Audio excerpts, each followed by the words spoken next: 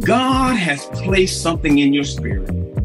Let, us call it a, a coming attraction or a sneak preview.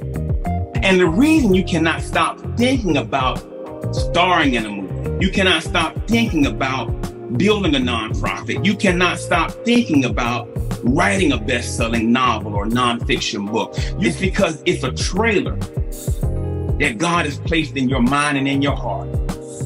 But dig this what Hollywood producer would spend thousands of dollars to make a trailer for a movie that would never come out?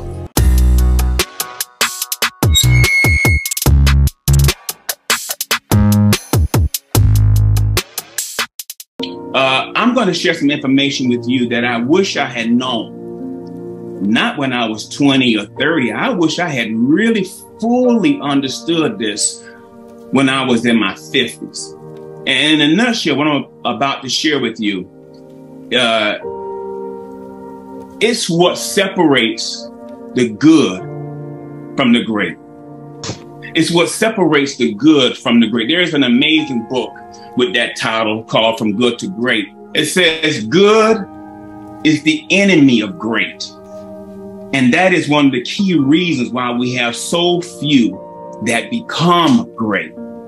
We don't have great schools because principally because we have good schools. We don't have great government principally because we have good government. Few people attain great lives in large part because it's so easy to, it's just so easy to settle for good lives. Now, let me say, I love this book once again, and I've lived by this principle for many years, but those words are not exactly true in and of themselves. And what I mean by that is that the author could have gone a lot deeper if he had the information I'm going to share with you today.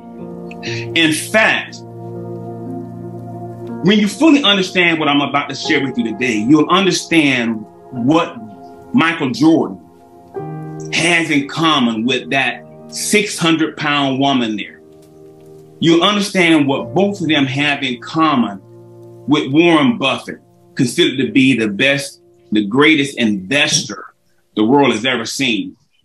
And you'll understand what the three of them have in common with Martin Luther King. You see, Michael Jordan played, when Michael Jordan played back in the 90s, and if you remember in this game, he hit six three pointers in a row.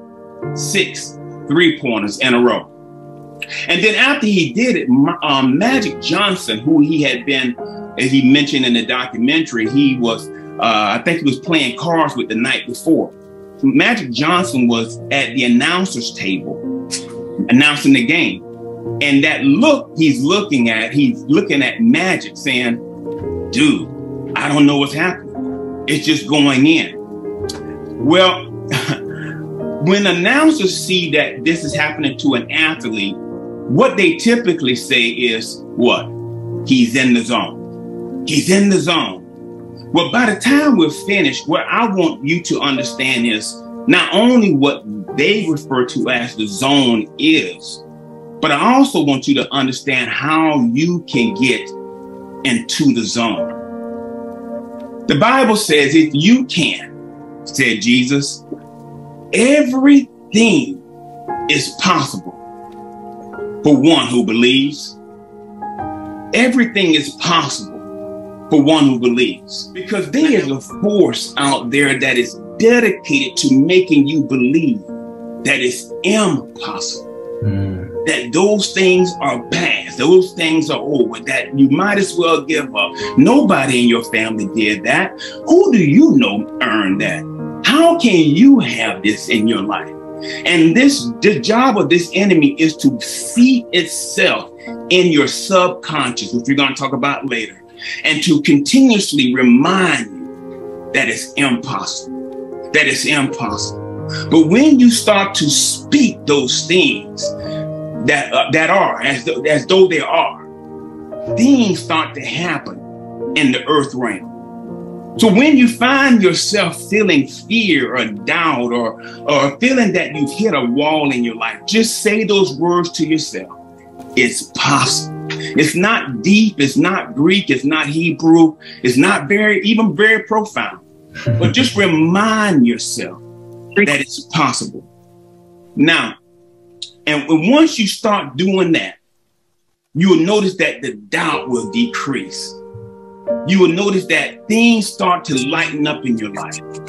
Because, see, if the enemy can make you believe that it's impossible, he can make you accept that your life is less than God has in store for you. Let me say that again. If the enemy can make you think that it's impossible, he can make you accept the fact or believe that, li- that life is less than God has in store for you. The story is told about a man who had bought a new house. He had dreamed of this house. He saved his money to buy this new house. And then once he bought the house, he discovered, he discovered that he needed to go to the store to buy some new supplies to hang pictures. So while he was getting ready, when he's getting ready to get up to get to go out and buy some new supplies to hang up more pictures in the house, an amazing thing happened. The lights went off in the house. He decided that he wanted to find his keys to go to the store. So he, when the lights went off, he couldn't find his keys. So he was searching and searching and searching, trying to find those keys. Suddenly, he had this brainstorm. There was lights outside the house. So what did this genius do? He went outside to start looking for his keys because there's more light outside. So he, he's looking and he's looking for his keys outside the house because there was no light inside the house. Well, sooner or later, a friend walked up, one of his new neighbors, and said, What's going on? And he said, I can't find my keys. So the guy says, Okay, well, let me help you find them. So together they started looking and looking for the keys. And then the guy said, Well, where's the last place you had the keys? And he said, I had him in the house, but the lights are off in the house. So I decided to look outside the house. Now, I know that sounds stupid. I know that sounds crazy. I know that sounds absolutely, positively insane. But are we much different? Isn't it amazing how we, men who are intelligent, many times can look outside ourselves for answers instead of looking inside ourselves to find out what God would have us to do. Many times we are looking outside of ourselves for answers. If the enemy can make you search outside, he can keep you distracted from finding the real key, the real answer to your problems. If the enemy can make you look outside, you will never discover how you can get out of the financial bind you're in. If he can make you look outside, then he can stop you from getting the help that you deserve. So focus on what's going on inside. The key to a better marriage is inside. The key to tripling your income, to, to, to writing that bestseller, to starting that ministry, to starting that business idea, all of those things are inside of you. And the fact that you do not readily see how it should be done or how it can be done, I should say, is irrelevant. But the key to doing those things are inside. So today I'm going to give you three things that if you fully understand and unlock, will unlock the greatness inside of you. It, um, last Saturday, I went to see this great movie called The Woman King. Great movie. I highly advise you going out and looking at watching.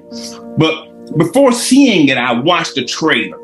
The trailer was good. The trailer was very good. But the trailer could not compare to the movie. The trailer was the trailer was only produced to announce the coming of the movie. God has placed something in your spirit. Let, let, let's call it a, a coming attraction or a sneak preview. And the reason you cannot stop thinking about starring in a movie, you cannot stop thinking about building a nonprofit, you cannot stop thinking about writing a best selling novel or nonfiction book, you cannot stop thinking about starting a family, adopting a child, you name it. It's because it's a trailer that God has placed in your mind and in your heart. But dig this. What Hollywood producer would spend thousands of dollars to make a trailer for a movie that would never come out? Why would God give you a trailer if there was not the possibility of a movie, of something great being birthed, of something amazing being done in the earth realm? You see, the trailer is the proof that there is something within you that's bigger than you. The trailer is the proof that there's something in you that's far bigger than you. A vision so big that if you if you finish, if you saw the finished product before it's time, that, that it will scare you to death. And that's you see, there's a, a old African proverb that says, if there is no enemy within, the enemy outside can do you no harm. If there's no enemy within, the enemy outside can do you no harm. In other words, there is nothing you cannot do if you access all God has placed within you. Thank you, Holy Ghost. I'm going to have to preach that one sometime. There's nothing you cannot do if you access all that God has placed in you. If you, if you utilize the gifts and talents that God has already given you. And let me just say this, my, my biggest enemy is the inner me, the inner me. And, and let me take it one step further. When you complain, when you whine, when you moan, when you grumble, when you woe is me, can I tell you what you're doing? You're doing two things. First of all, you're praising the devil. You're giving him the benefit. You're bringing his name up in conversation. All the power that he has over your family, all the power he has over your health, over your business. You're giving him the credit.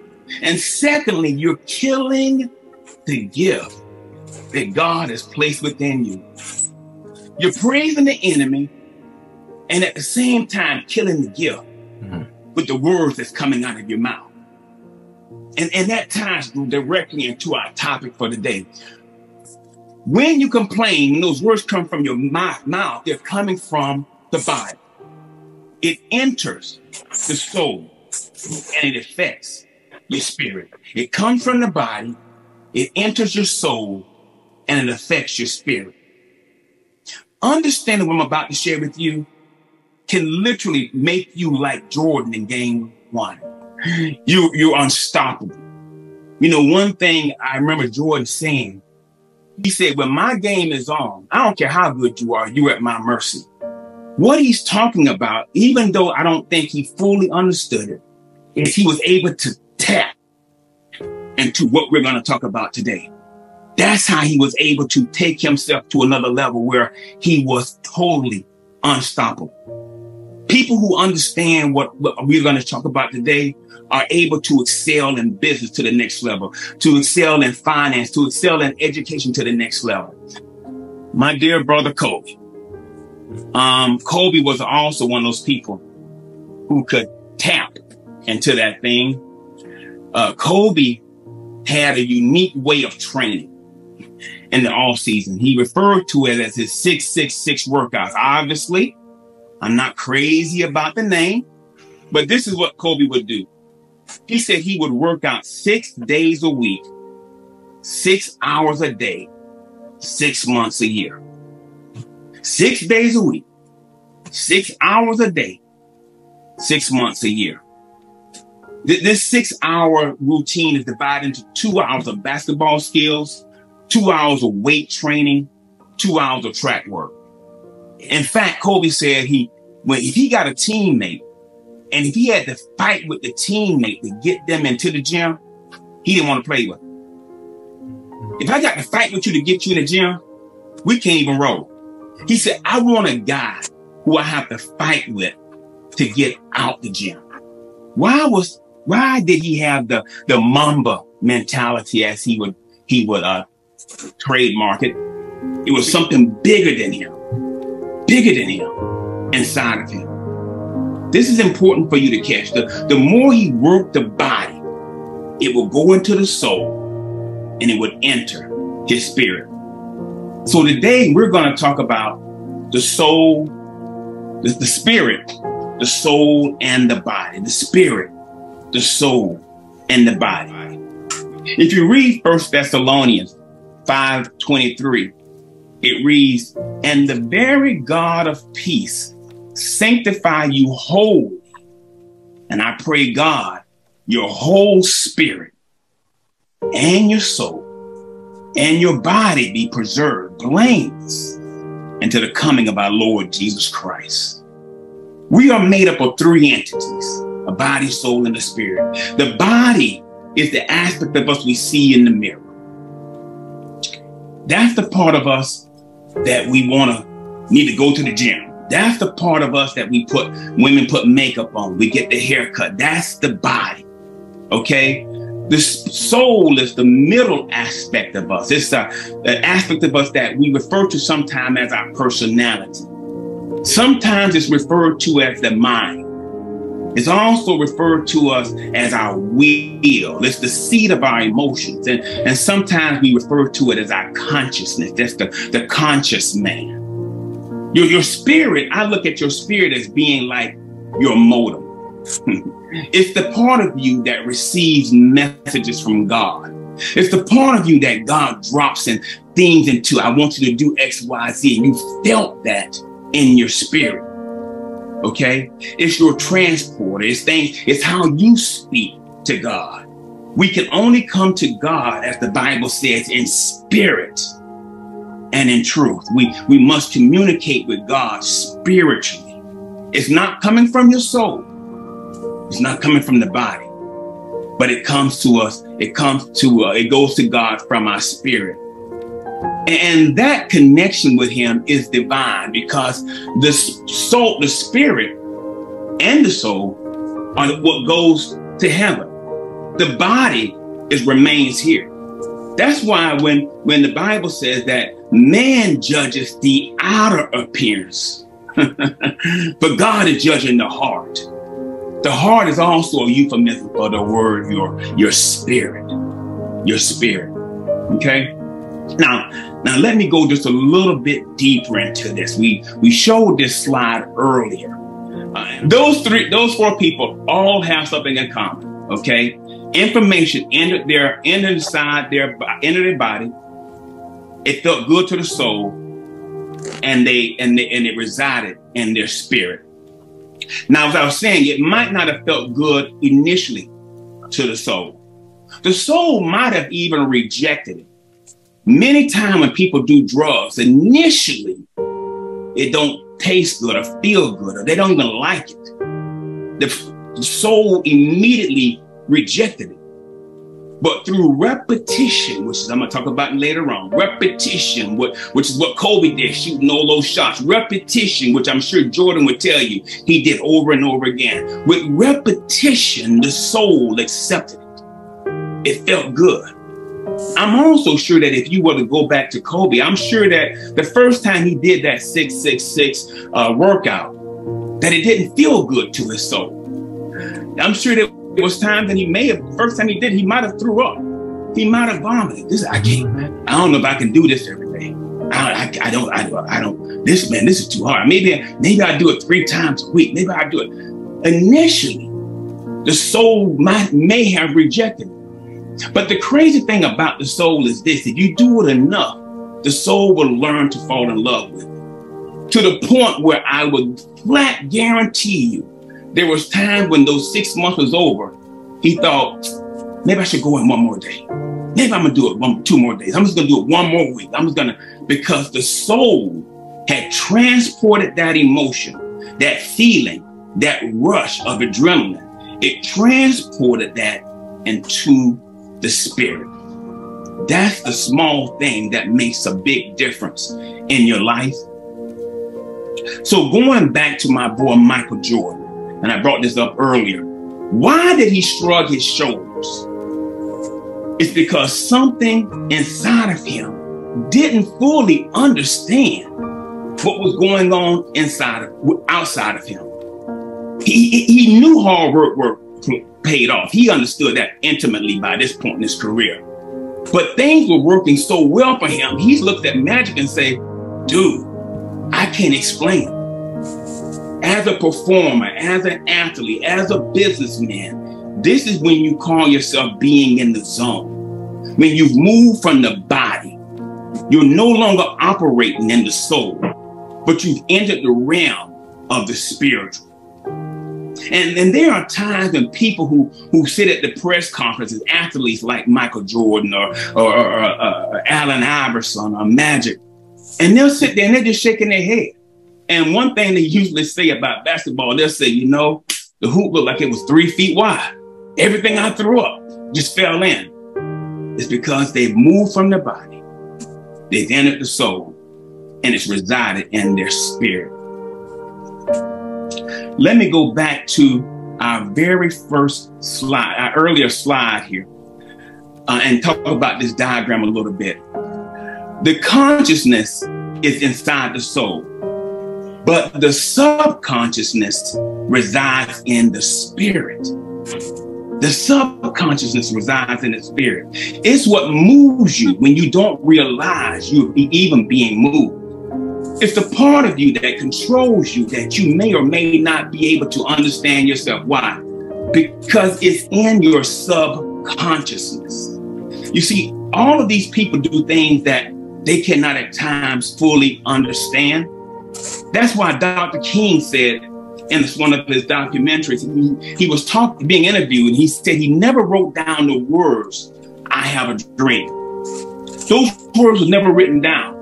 He made one of the greatest, in my opinion, the greatest speech of all times. But he never wrote down the words, I have a dream. But they were planted in his subconscious by Mahalia Jackson. And he said that as he was speaking, and you listen to this speech sometime, listen to the people in the background, you will hear this woman's voice. As he's wrapping it up, she says, Tell him about the dream, Martin. Tell him about the dream. And then from that little spark, it sprung out of his out of his subconsciousness and he spoke words that shook the world but let's look at it from the opposite side of the spectrum see the large woman in the slide do you think that she's happy in any way with her life do you think she's happy being I, I don't know maybe 30 years old 35 years old and being in a wheelchair this young lady may have had an active life when she was young. Who knows? Somebody might have done something to her. Who knows what caused her to get in the situation she is in physically? But something buried, something jumped into her spirit. Initially, she may or may not have enjoyed it. The food could have been a substitute for love, for, for masking the hurt, the pain. But it moved from the soul into her spirit into her subconsciousness. Now she cannot even control herself. The same thing happens for a prostitute. The same thing happens to a drug addict. They don't choose to sit there, oh my God, let me go do crack. It controls them. The same thing happens for a man who will not work, just won't work. People call him lazy, staying with his mom at 35. I don't care because something is in his subconsciousness that's controlling him and making him do what it what he does. And that brings me back to the power of repetition. The more you hear things with your body, the more you see things with your with your eyes, your body, the more things you feel within your body, the more it will make its way to your soul. Repetition initially, like I said about Kobe, maybe you don't even like the feeling initially. You might not like getting high. You might not like the doing the thing that, is, that you're doing. But eventually, it will get itself inside your soul. Now, let me say this. You can choose to do drugs if it's in your conscious mind. You can just stop smoking weed. You can choose to do things if it stays in your conscious mind. An athlete can turn it up and practice for a week, go out and have an amazing game. I know I did it before. You know, it's and then but the next week couldn't find me. you can you, you can have you can have money, you can want to be a millionaire and save, save, save, and invest, invest, invest, and and and, and become a millionaire. You can do that. But what separates the good from the great? The good from the great. One has success in his soul, and the other has success in his spirit. When you are good, talking about from good to great, when you are good, there's something within you that you could turn on and off. But when you are great, there's something within you that is bigger than you that will not let you sleep until it's birthed through you. It, it has to, you don't have a choice. You will find yourself up at three o'clock, four o'clock in the night, working on your vision, on your mission, on your passion. You see, the battlefield is in for is for your soul. Why is that? Because if it, if it gets into your soul, it can change your life. If it gets into your subconscious, it's a wrap. And another name for your subconscious, which is your spirit, is also your heart, your heart, your heart. That's why the Bible says, Jesus says in the Bible, for out of the heart comes evil, thoughts, murder, adultery, sexual immorality, theft, false testimony, slander. Those things don't come from the body, they come from the heart. They come from the heart. And if you hear something over and over and over again, it can lodge itself in your heart. January the 6th, people who were well intentioned just may have had an ideological different opinion of things than I, I do, but were not evil people in any way. Doctors, lawyers, pastors, priests, I'm sure, all came together in January the 6th. But they had heard something over and over and over again. And they found themselves beating police officers and climbing walls. Why? Because something that was said was repeated and repeated and repeated until it found its way into their heart. So when you see these things happen, evil thoughts, murder, adultery, sexual immorality, theft, false testimony, slander, it comes out of the heart. It's lodged itself in the heart. Over the past 48 hours, over the past 48 hours, you've been hearing about Coach, Boston Celtics coach, Ime Udoka. Um, he and Nia Long have been together since 2011. They have a son together. They have a combined net worth of around $18 million. Uh, that would put them definitely in the top one half of 1% in the, in the world. They can live anywhere they want to. They can eat anything they want to. They can vacation anywhere they want to. They can drive anything they choose to. From what we both, from what we know, both of them are in the best of health. Yet the coach was suspended by the Boston Celtics for having an affair with someone in the organization. And, and I'm sure if you asked him, if you just came and asked him, he would give you an excuse. But eventually, it'll get down to, I don't know. I don't know. You kept asking, but why? But why? But why? Eventually, my dear brother would just shrug his shoulders and tell you, I don't know. Well, let me raise my hand. I know. Jesus already told us from out of the heart come evil thoughts, murder, adultery, sexual immorality, theft, false testimony, slander. These things are not from the body. They are not even from the soul, but they plant themselves in the heart. So, how can you change your life? It's simple. You become what you continually hear, N- not listen to, but what you continually hear, what you continually see, and what you continually feel. Because it will eventually move past your soul, find itself into your, your find itself into your spirit or your heart. The Bible says, He who is wise wins souls. He who wins souls is wise. I'm sorry. He who wins souls are wise. And I want to open the floor up and ask this question. This was spoken by Solomon. He who wins souls is wise. Why do you think he would say that? That he who wins souls is wise. the floor is open. I, would say, I would say, because if you're winning souls, people are following you. People are wanting to do what you're doing or want to learn what you're doing and see how to do better. So I think uh-huh. that's our whole thing is we're always wanting to do better in our our life, career, our family, with everything we do. We want to do better and achieve better goals. Powerful, powerful. Thank you, thank you. Anyone else want to chime in? He who wins souls is wise.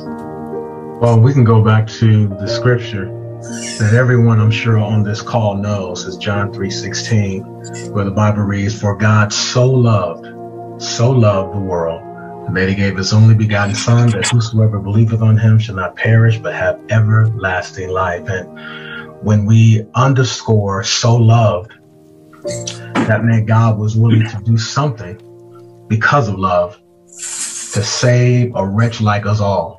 Mm. He sent his son, Christ Jesus, to die on the cross. And the whole journey of Jesus was about sacrifice, um, was about salvation, was about redemption, was about saving the souls of mankind, and was about re- reconciling us back to the Father. And he was always about his Father's business, as the Bible so eloquently states. So I think when you when you read Proverbs and it reads that he who winneth souls is wise, um, you are aligning yourself with the actual purpose and mission of Jesus Christ.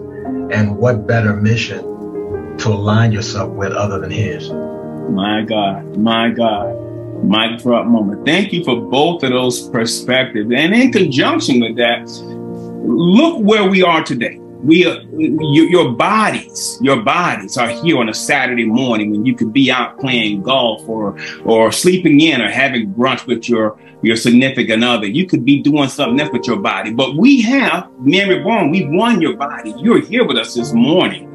We have won the spirit. How do we how do I won the spirit?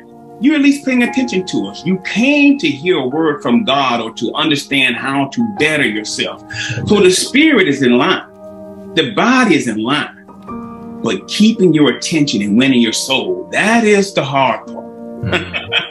engaging you, making you, giving you something that you can take from him, planting something that's inside of you. That is the hard part. It, it takes wisdom to do those things. It takes more than just winning the body and the spirit. Mm-hmm. You, it takes more. You can get saved in 10 seconds.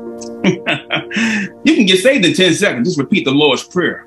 But it can take a lifetime to be fully and truly converted. Amen. Do anyone have any questions about the topics today? Anybody have any question about how you can change your life by understanding the power of the body, the soul, and the spirit? Pastor Tim, if I can throw this out here, this is just for, for my own learning as well too. Um, I don't know it all, so um, I submit myself to all the men here and allowing the Holy Spirit to teach us all. But my question and I hope this doesn't uh, move us away from the, the, the, focus of the actual topic, but um, you mentioned the word conversion, right? And so mm-hmm. my, my question is, why do we think or believe that it takes so long for some of us as believers to convert? Because mm. in the natural sense, we have something in life called gravity. Um, what goes up must come down. It's a natural law in the earth realm. Okay. Uh, everything that goes up in this earth must come down. Um, we also have sin in a spiritual sense. The pull of sin on the flesh is undeniable. The fact that you say the Lord's Prayer do not excuse you from a world that you live in, the world of sin. So it's going to pull on you until the day of redemption, until you go to heaven. And when that will not be an option anymore, you will feel the urges. You will feel, the, how do I know? Even Jesus felt the pull on him. For the Bible says he was tempted of all things. So if he was not tempted, then we would say, well, the law of, of sin did not affect Jesus because he was never even tempted. Yeah, he was tempted too. So if he was tempted, if he had if he had to pray, if he was tempted, then surely each one of us going to be tempted as well. With that being said, thank you so very much for that question. I got another question for you. Is there is, next question is is there anything you had to repeat until it got into your soul? Anything that you can attest to that the power of repetition that you did so much that it became a part of you. Hey, what's up, Tim? Hey. Sam. Yeah. Go right yeah, ahead, so, Sam. So real quick, you know, I've always been positive, but uh-huh. know, in the first ten years, when you get married, you know, you go through a whole bunch of bunch of trials and tribulations, and so um, my main thing was, I guess, in terms of income, being, you know, in my 40s, my late 40s, you know, I was making maybe around forty, fifty thousand dollars, and I knew I could do better, and so a lot of the companies I would go in and at work, I was more or less like a game changer. And so mm-hmm. I come in and basically re, re, redo the business unit and make it more profitable than what it ever was. But as you know, in corporate, they don't they don't award you on that, um, right? Per se. And so I took it upon myself. I was like, all right, I'm not doing it for them, I'm doing it for me. And so as a result of that, um, within like four years, I had an opportunity I was first they they they promised me that they were going to um, fast track me into management. I wound up becoming a whistleblower. Wound up doing a trace on their on their business practices and stuff like that. And I realized there was huge gaps, and they were trying to point that on me. And I was like, no. I said, you, you your paperwork is all messed up. So, right. as a result of that, they want wanted up um, firing one of the people because he was basically stealing from the company and it was millions of dollars that we were talking about. So you would think that I would have gotten promoted. Didn't happen. Wow. I wound getting a three percent wow. raise. Three percent raise that one year. Second year it dropped down to two, and then the first one was like 0.6. So I was like, all right, I got I got to make a move. I got to pivot. So I knew what I was doing. It, I was consistent, and it was repetitious, and I had perfected my um, my craft. So as a result of going out on faith, I wound up doubling my income to 90, like 95,000. Uh-huh. Did that for about three months. And then the guy was like, nah, we want to bring you on board. We're going to offer you, what's it going to take? So he's like, all right, I'll give you another 10. And then I haven't looked back since then. So it's, it's consistency. It's just like with, uh, it's consistency. Just like with Kobe and, and, and Shaq, you, you got to believe in yourself and you got to have identity. You got to know yourself and you're gonna know that because you're you're spiritual. And so, you know, you got to read the Bible for yourself because a lot, a lot of times, some of these pastors, you know, they they they missed the message, and now they're kind of going back and saying, "Hey, we were wrong about this and that." But you know, a lot of people, you know, they walked away unless they went and they they read it for themselves, and that's that's my two cents. You know, you said a mouthful there because when you have when you do something over and over and over again, you start seeing success. You start seeing success. And what the enemy wants to do is bring failure to you. So, so when you are a Kobe, when you are a MJ, when you are a whoever fill in the blank, when you're into the two seconds left in the game, or when you're making those phone calls, whatever, you'll start getting glimpses of success you start seeing the ball go through the hoop. You start seeing the person saying, "Yeah, I want to buy." You start seeing success right before your eyes, right before you make, make the phone calls. That's why repetition is very important. That's thank you so much for sharing that, brother Sam. Brother Derek, you back? Yes, yes, Tim, I'm back.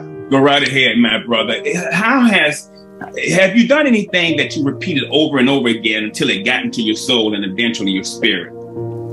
That's a simple one for me. Um, I thought it was. yeah, yeah. Just the, the, gym. The gym. I was a um a skinny kid. Mm. I was around 135 at 18 years old. Whoa. Yes. And one and, of your um, arms is that much now. right, and um, oh my god. And I used to. I always say that I, I watched a lot of anime and comic books and okay. I wanted to learn discipline. So my brother who happened to um he had started wrestling in high school. So he used to come home and practice on me. Right. Now my brother was bigger, older, and he used to beat me. And okay. I, I hated losing. So I decided that I was gonna start working out so I could match his strength. But what happened once I hit the gym, I noticed it wasn't just like my body changing, my confidence, the way I saw stuff, right? Just going day in and day out where, you know, when you first start working out, it's interesting when you look at people, they lifting like huge, huge heavy weights and it's, it's, it's intimidating. Mm-hmm. But I think I think the gym, this is a personal perspective. I think the gym is the closest, the closest in terms of um building people up to the church. Yeah, yeah. Right. Right. To the church because I think it's the one place that everybody that goes, no matter how they look, what shape they're in, their aim is to be better. Wow. And so good analogy. I, I'm I'm seeing these guys strong, big, huge, and I'm just like, okay, I, I I'm I'm gonna get here. I don't know how yet, right? Because in the beginning, you really not sure how it's even possible. Right. But I remember my first six months in the gym, my body changed. Right? Like my body, I put on like 20 pounds of muscle and my walk changed a little bit. You know, the confidence, your chest is poking out a little bit more. Uh-huh, uh-huh. And some of the kids, some of the guys that used to come in there, you know, they start they start saying little things like, "Hey, hey, hey, big man, get out the way." I'm like, "Big man, like when did I become big man?" But through the years, the consistency of the gym has shaped and informed every other single part of my life. From from it's been over 20 years now from the consistency and the daily routines, I've utilized that whenever I don't have knowledge about something. I literally create the same program, right? So if I want to learn a new skill set, I literally order five books on the skill. I will spend the next three months just researching and reading nothing but something to that skill set. And I've noticed that every six months when I come out of it, I have a new skill set. I may not be an expert, right? But I know enough that I could I could talk to somebody who's an expert at it and they don't see me as an imposter. Right. Right. So the daily routine has shown me that you can learn anything if you give yourself time and consistency and actually put in the work or going to the place. So I think for me, just the gym has been the biggest change and the daily work has changed the impact of my life. Wow, that is so powerful. That is how you put yourself in the zone. And you remember the first thing he said, he said he used to watch anime. He used to watch these cartoon characters in his case or or bodybuilders who had what he was looking for. So I would assume that his father or or neighbors or whatever did not have that physique that he was looking for. So he went outside of himself to find that thing that he wanted to mimic to pull it into his world. And he also mentioned consistency, doing it over and over and over again. And we've been talking about sports, but as he said, he transferred it into the rest of his life. He's been a very, he would never tell you this because he's very humble, but he's been a very successful businessman doing business on a couple of continents. Um, that's because he used those same principles to put himself in that zone that I was talking about Michael Jordan using. I'm going to cut off right now. Thank you so very much. I don't want to go over on our time. Thank each and every one of you for joining us but the reason I'm going to cut off right now is because we must always yield to the Spirit. Our dear brother Joseph's mother is in the hospital, and I know she's had some health challenges. But brother uh, Joe, we're going to say a prayer for you your family as well as your mother at this time. Here's about hearts are humble, eyes are closed we go before our Lord and Savior in prayer. Heavenly Father, we come to you today thanking you for all that you've done in the last 90 minutes. Dear God, you're a good God. You're a great God. You're a merciful God in all your ways. And we pray, dear God, that the meditation of our heart, that the things that's come outside of our heart today will plant itself inside the soul of the men who are watching today dear God, who are listening all over this country, dear God. And we pray, dear Father, that those words gravitate into their spirit, dear Father. Make them better men in their households. Make them better men in their communities. Make them, dear God, men reborn to their families and to their friends and, and in the body of Christ, dear God. If anybody under the sound of my voice is not saved, do not let the sun leave the sky before they come to someone and say, What must I do to be saved? Because you're a good God. You're a great God. You're a mighty God in all your ways, and we adore you from the rising of the sun to the going down of the same. But you're also a healer, dear God. My God, you're a healer, dear God. As the as, as the song says, if you've done it before, you can do it again. The same God right now the same God back then. The Bible is replete of stories of healing, how you heal a leper, how you heal a woman who was unclean, how you heal a man, many men with blind eyes, dear God. So if you've done it before, dear God, we're asking you to walk through the halls of that hospital where my dear brother Joe is right now Open the door of that room, walk inside, and put your healing hands of mercy and grace on his mother. Even now, let her feel your power, dear God, from the crown of her head to the very soles of her feet, dear God. Move in an amazing way in her life, dear God. Let the cells in her body be rejuvenated. Let the blood run through in her body, dear God, warmly, dear God. And let her feel your presence even now, dear God. And give strength to my dear brother Joe Joseph, dear God. I know he's been traveling. So give him strength, dear God, as he holds up her hand, as he comfort her, being the son he should be in this moment for her, dear God. And when this is done, dear Father, let him come back for a testimony of your goodness, of your greatness, of your mercifulness in this day, in this hour, in this season. For you are our God. You are our King, and you are our deliverer. In your son Jesus' matchless name we pray. Amen. Amen. Amen. Brother John, our president, the floor is yours. Hey, stop. Thank you so very much for watching that video. I am so honored that you will spend some time with us here at Grace Addicts. So if you were blessed, touched, or edified in any way whatsoever, drop a comment below so that others might see how you was touched by the content you just watched. Also, if you were moved in any way whatsoever, do me a favor. Would you please subscribe, share, and like this video. It helps us to grow this ministry so that others might be blessed as well. When you subscribe, click the alert button. It'll sound something like this. I love that sound. When new content is available, listen, I love you, God love you, and there's nothing you can do about it. Oh yeah, if you like that video, check this one out right here. Or check this one out right here. Thank you so very much for visiting us here on Grace Addicts, where our motto is very simple. We want to make it easy for men and women to follow Christ. Be blessed. I love you.